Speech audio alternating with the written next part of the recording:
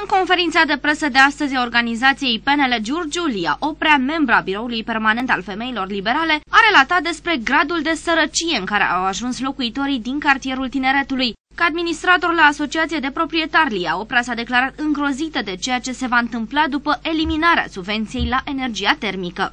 Aș vrea să mă leg uh, lucrând în domeniu, deci sunt ca administrator la Asociația de Proprietari 40 și legat de gigacalorie, care Aseară când am văzut la televizor m-am îngrozit. Deja vreau să spun că sunt foarte multe datorii și cresc în continuare.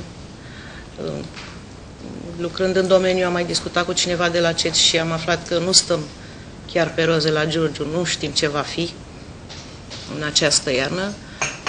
Deja s-au blindat în iarna trecută foarte mulți oameni, fiind săraci, au pensii uh, sociale majoritatea, foarte mici,